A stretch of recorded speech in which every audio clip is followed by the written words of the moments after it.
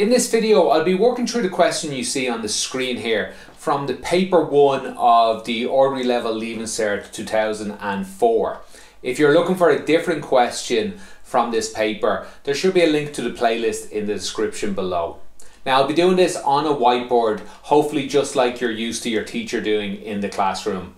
But remember, this isn't the classroom, you're on YouTube, so take advantage of those tools pause the video, rewind, fast forward, or slow it down if I'm talking too fast.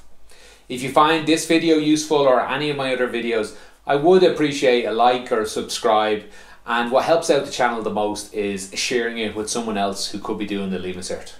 Question 10 is a collection of tax questions. Part A starts off with um, a person named Joseph. They have a gross income of 48,000 they pay uh, a bunch of taxes. They pay income tax, 7,650. They pay PRSI, 1,920. And USC, uh, 1,407. So they, they just ask you, what is their net annual income? So they're really asking you, what does that mean? Uh, your net annual income is just how much money you actually get into your bank account. Think of it that way. Uh, your boss says this ain't what you get paid, but really the government take all this. Uh, so how much actually gets to you at the end of the day? It's this minus these three. That's it. So this on, on your calculator, this number, take away this, take away this, take away this, and all that equals uh, 37,023 euro. That's uh, A part one. No, nothing too difficult. Um, part two then asks us to put this your your net annual income as a percentage of your gross annual income. That'll be useful. That'll tell us uh, how much of our money did we actually get to keep. Um, so 48,000 is the starting point. Uh, we can do this really quickly. 48,000 divided by, oh sorry, 37,023 divided by 48,000 multiplied by 100 to get percent. I'll do it slowly. Um, I think there's lots going to be lots of percentage questions in this uh, in this question. Um, I'll do the rest of them a bit quicker. But do this one slowly. 48,000 is 100%.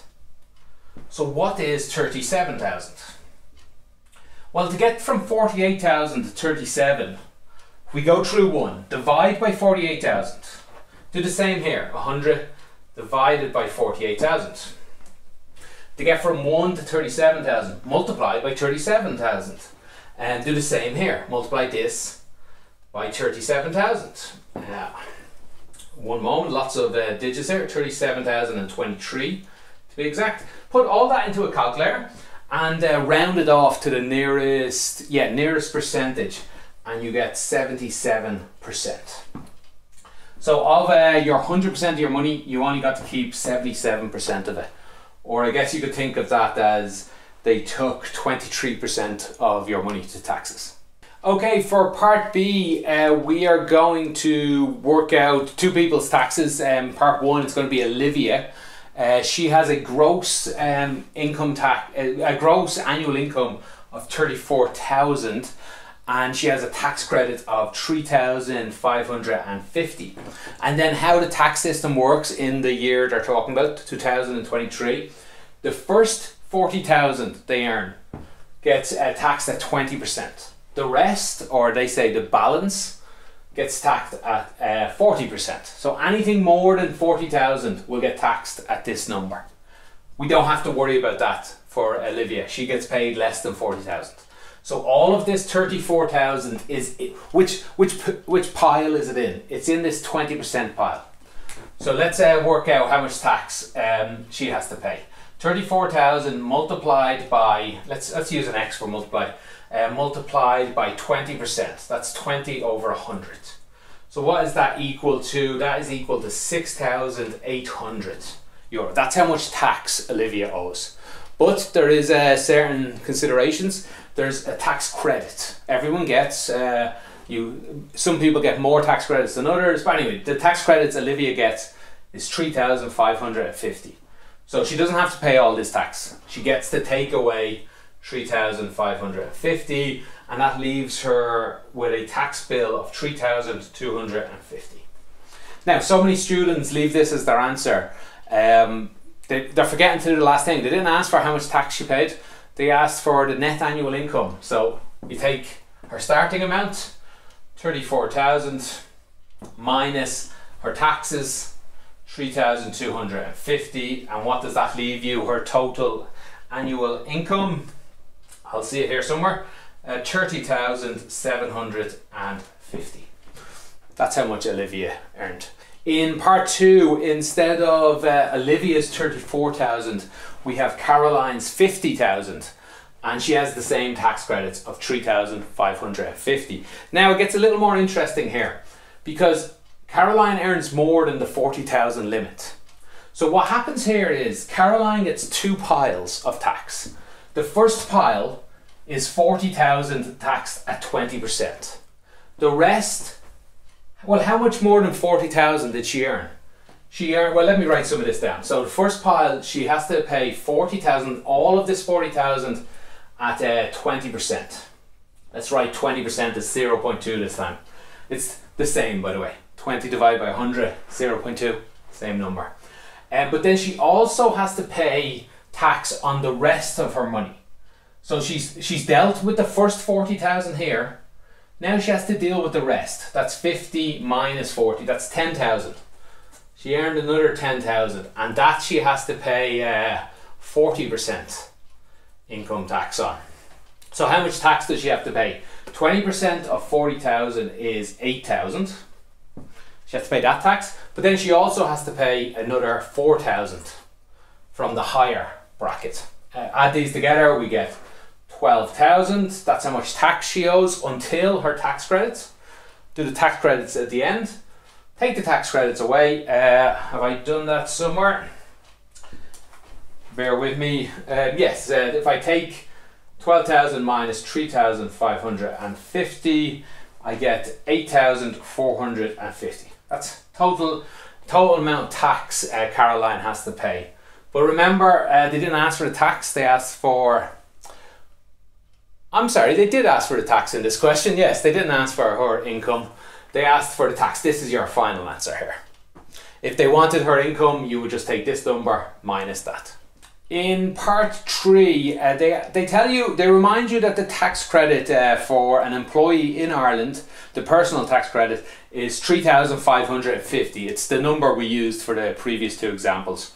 And they're asking you to find the greatest amount of income an employee can earn before they have to pay any tax. So basically, how much money can they earn before they pay tax?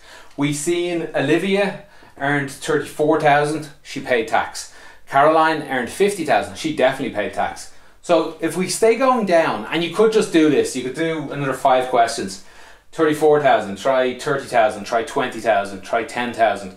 Find out when they would pay no tax.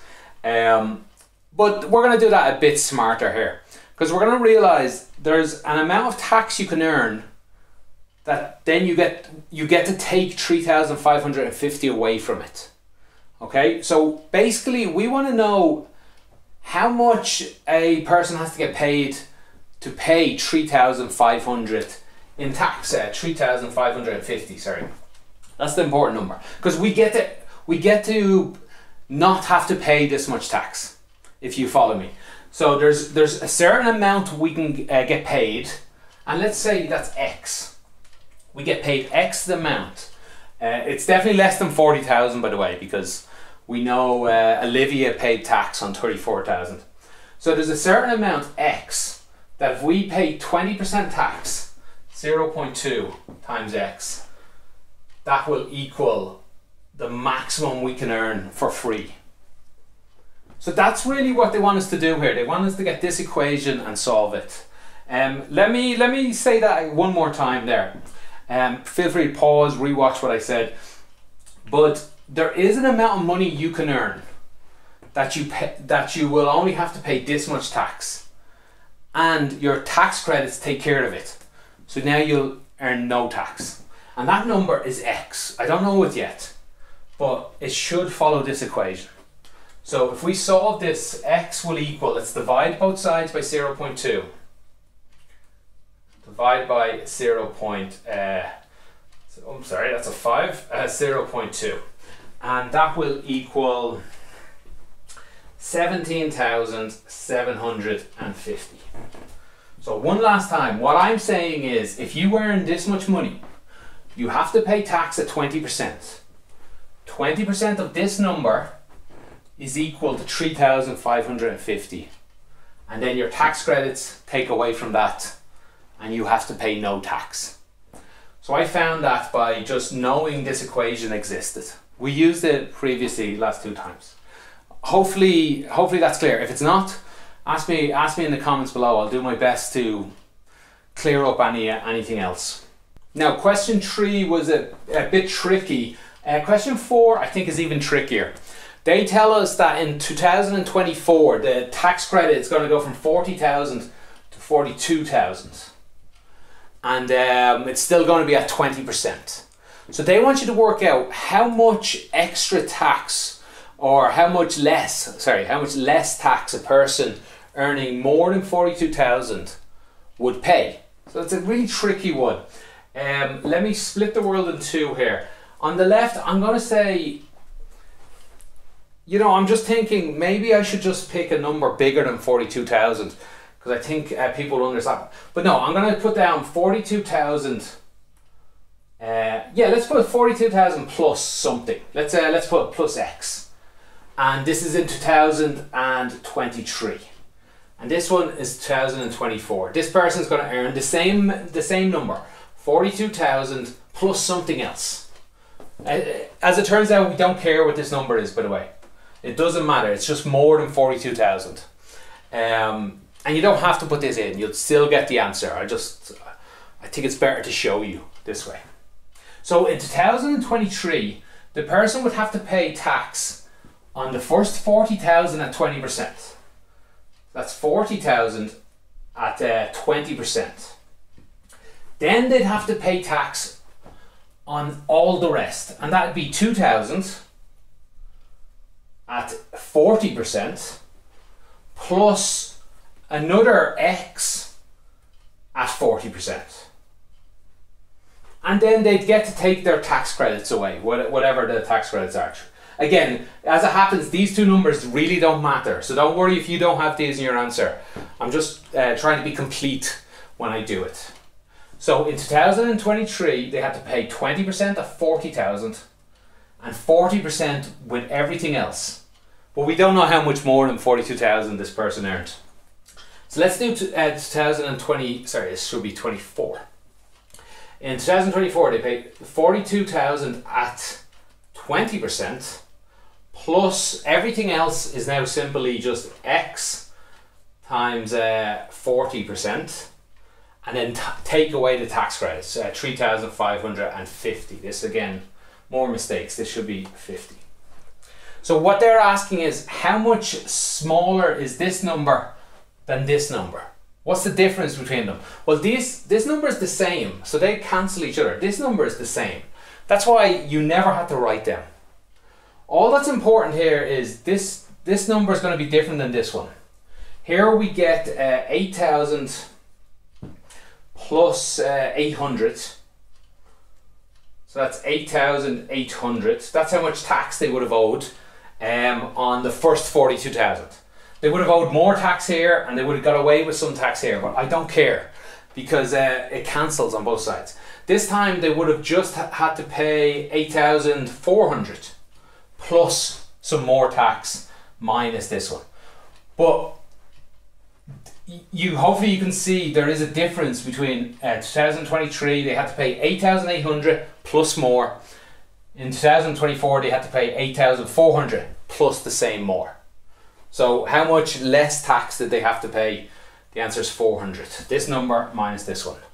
400 is the answer to part 4. That's a really tricky question. I, I at least I thought. Um, the numbers aren't too difficult. It's just multiplying and a little taking away. But I thought that was a, a, pretty difficult question. Rewatch it. Just watch it a couple of times. And remember, there's always going to be a question or two in the exam that's just hard to get your head around. Don't worry too much. Move on. It's okay to get 98% instead of 100. It's okay to get 65 instead of 63. You know, just move on. Don't let it ruin your whole exam. Okay, in part C of this question, they tell us that an employee an employee who works from home is allowed to get tax relief from the electricity and broadband bills. and they give us this equation here. The amount of tax relief they're allowed is equal to electricity bill plus the broadband bill multiplied by D divided by 365. D is the number of days they work from home. And multiplied by 0.3 or 30% really. Um, and they give us an example, Anne. Anne has a electricity bill of 1,950, broadband bill of 400, and she works from home 120 days of the year. How much tax relief can she get? Just simply put it into this equation. This equation up here tells us A is equal to 1,950 plus 400. That's electricity plus broadband. Multiplied by D is 120 over 365 multiplied by 0.3. Make sure to add these together first on your calculator. This plus this, that's 2,350. Multiply by 120, divided by 365. Multiply that whole answer by 0.3. And it should come out as, let's see, uh, 231 euro and 78 cents. They asked you to round it off to the nearest cent. So there was actually more, there was more here, but to the nearest cent it was uh, 78.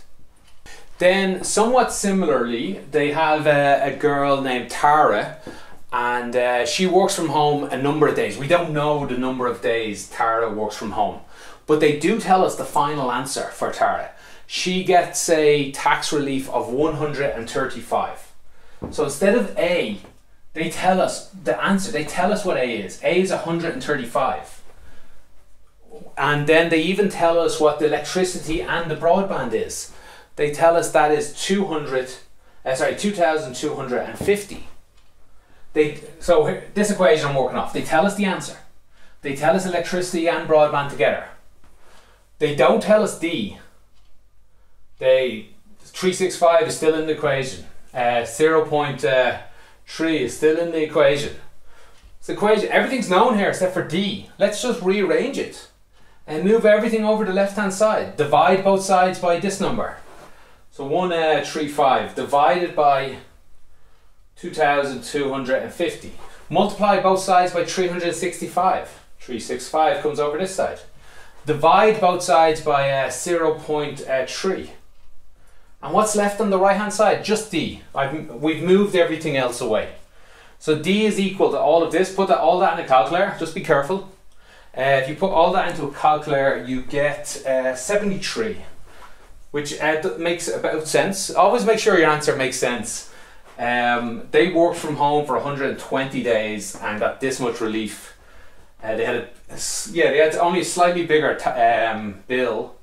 This person got much less relief, 130. Let me stand over here. 135 instead of 230. And that's because she worked from home less. So the answer sort of made sense. If you had got an answer of uh, a thousand, you should know something's wrong because D could never have been bigger than 365. That's it for question 10. It's also that's it for paper 1 entirely. If you have any questions for this question or this paper, let me know in the comments below. I'll do my best to get back to you. Thanks for watching have a great day.